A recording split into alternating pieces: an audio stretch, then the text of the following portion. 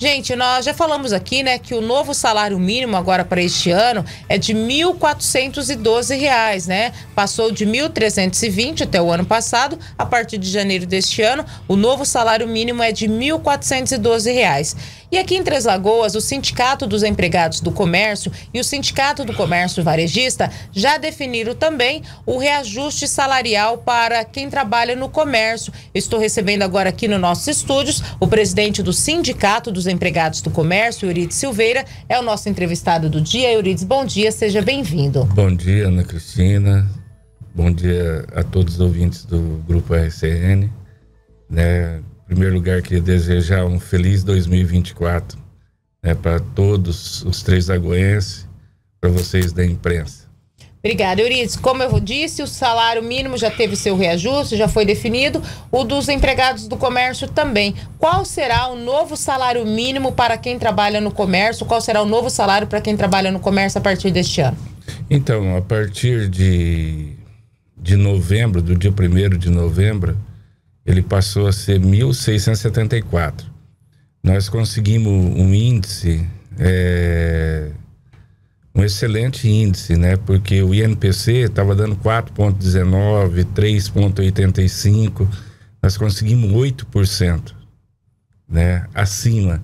Então, as pessoas, o trabalhador, ele não, não sabe a dificuldade, Ana, que a gente tem para fazer essa negociação. Se você tem um índice que dá 4,19, 4, não chega a 5, você consegue 8, né? É um índice muito grande.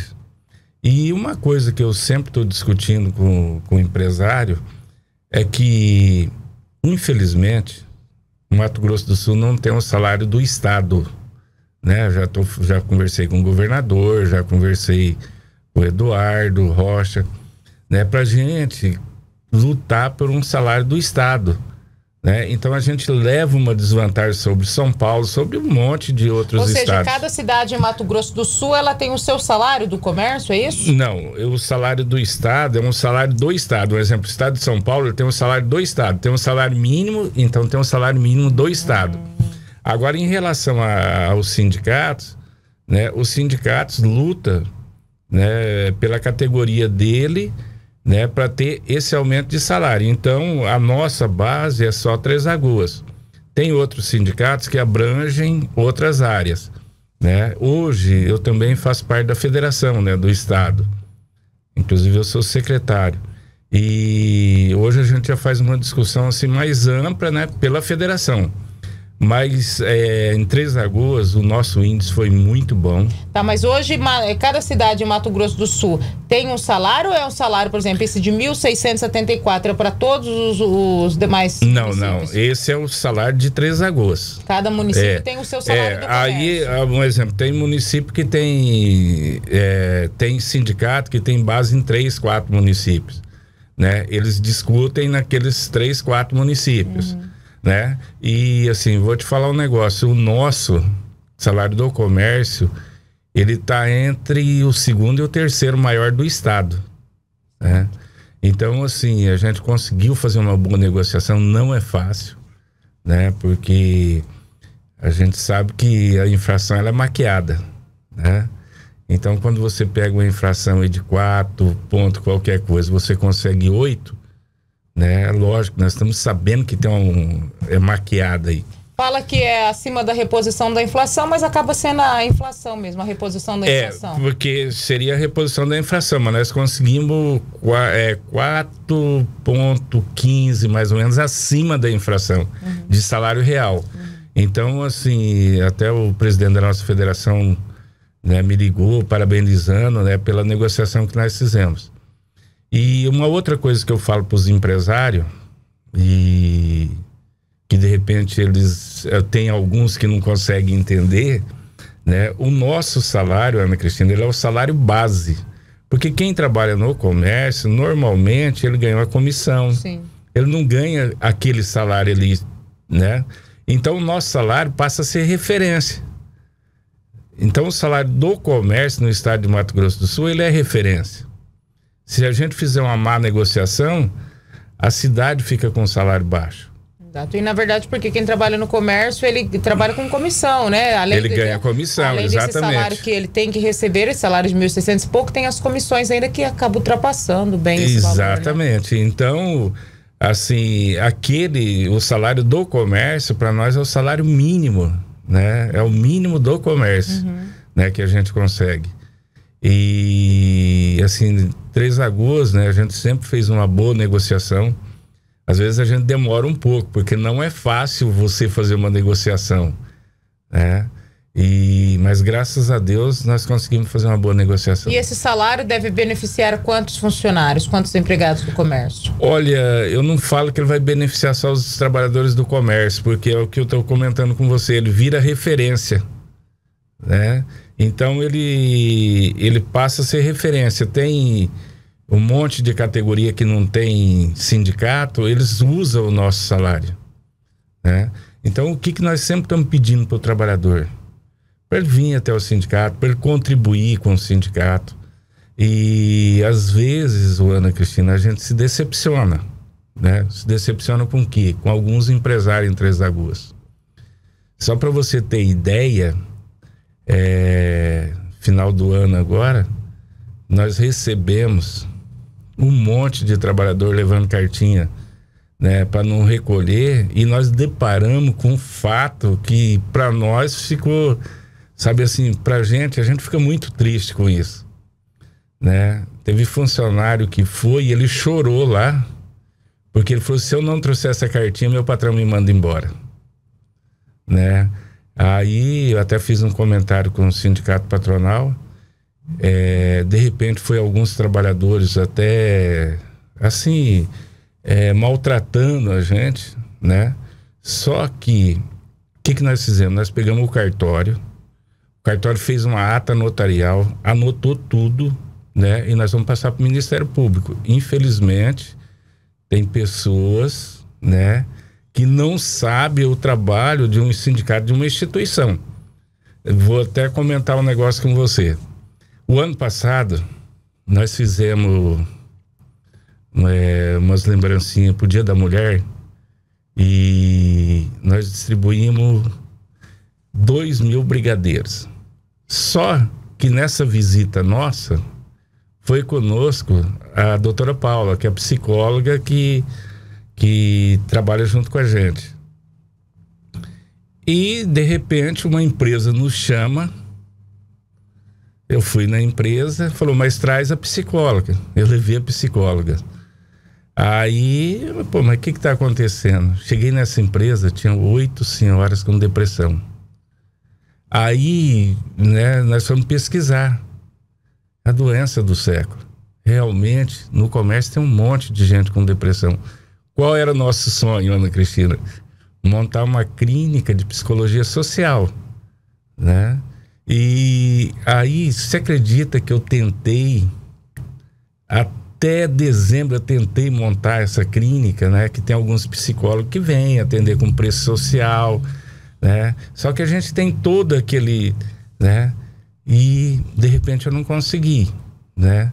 Assim, a gente fica chateado com esse tipo de coisa. Aí eu tinha até conversado com a diretoria, falei, olha, o ano que vem, 2024, acabou esse negócio da gente qualificar funcionário e tal, acabou. Né? Porque todo ano nós qualificamos muitos funcionários. E com diferencial em 2023. Nós entramos dentro das escolas, né? A gente vem qualificando um menino de 15, 16 anos. Porque muita gente não acredita no jovem. E nós não, nós acreditamos no jovem. O futuro do país está na mão dele. Né? Mas aí, Ana Cristina, eu acho que onde a inocência, Deus dá providência. Aí eu cheguei numa loja, aí.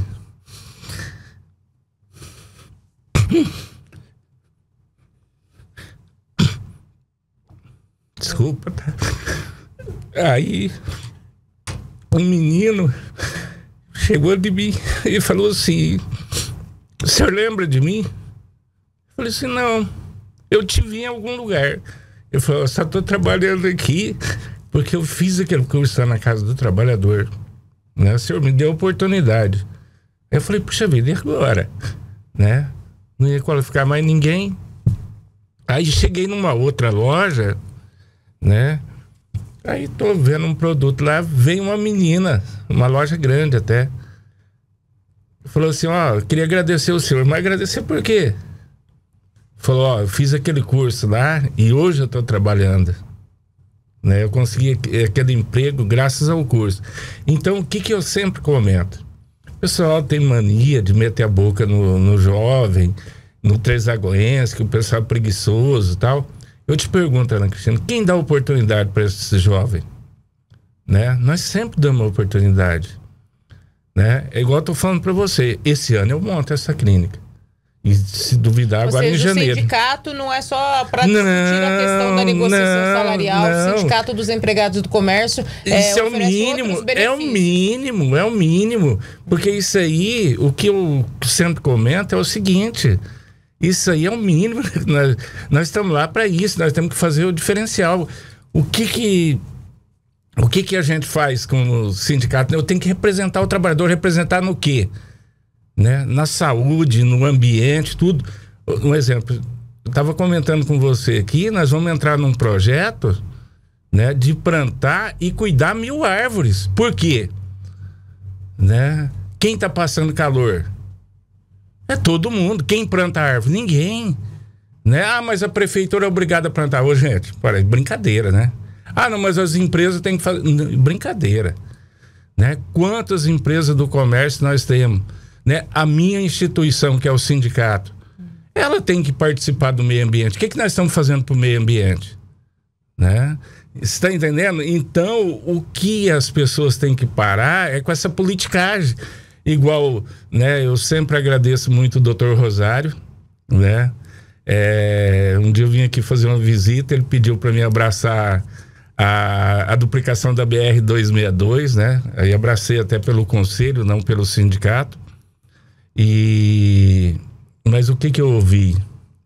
Eu vi algumas pessoas chegar em mim e falar isso não vira nada, né? Isso aí não vai virar em nada. Já virou, né? Nós vamos encerrar agora.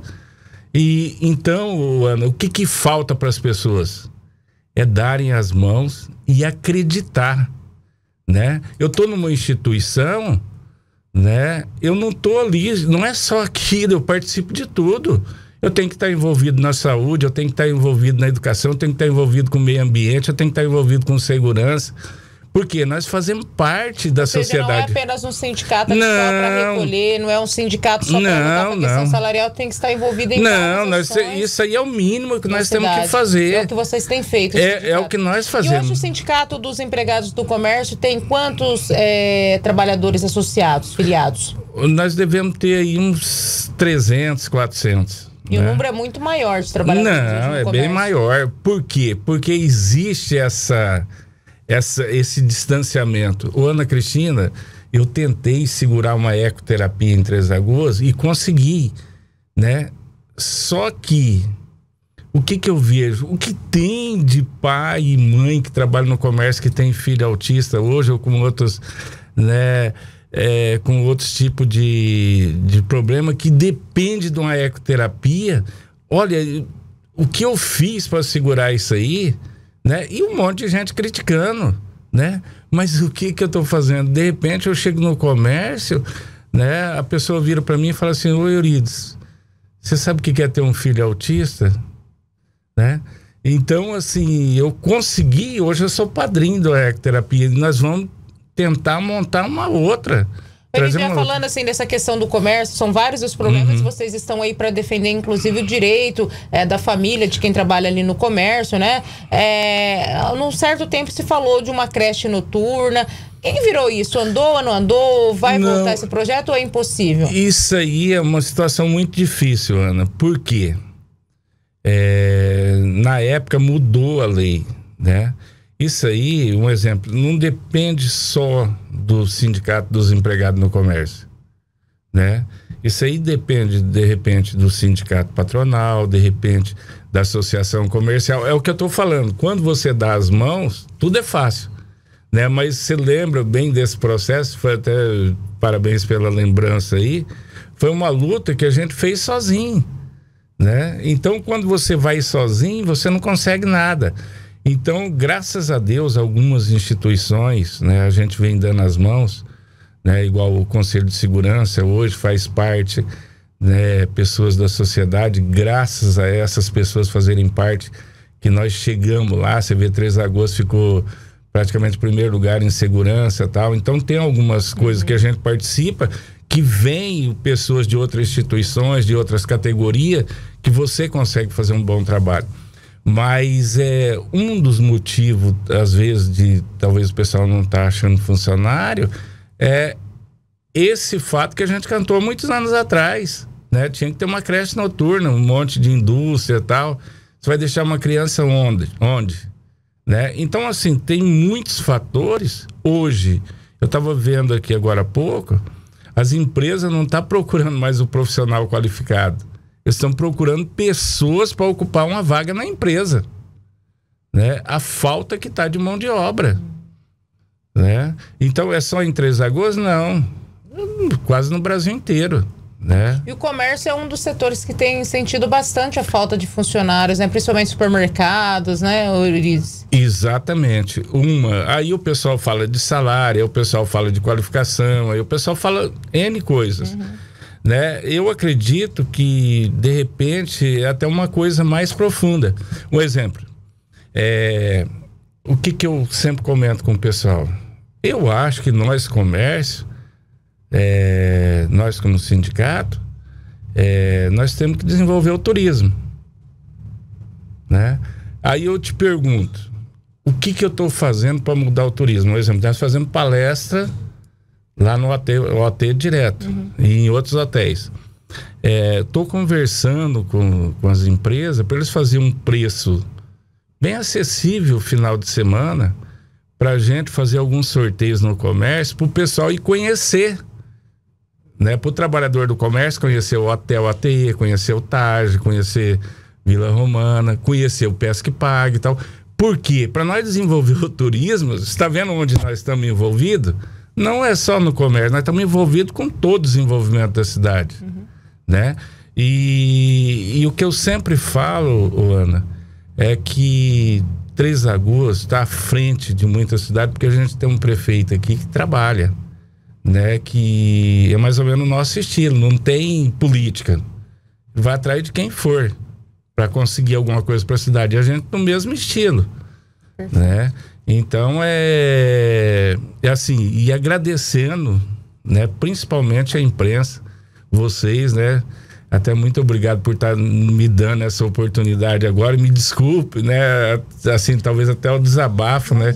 Porque de repente você demora que são pro, projetos que você fica com ele e você não vai conseguindo. Por quê? Porque tem algumas pessoas que, infelizmente, elas torcem contra elas mesmas. Uhum.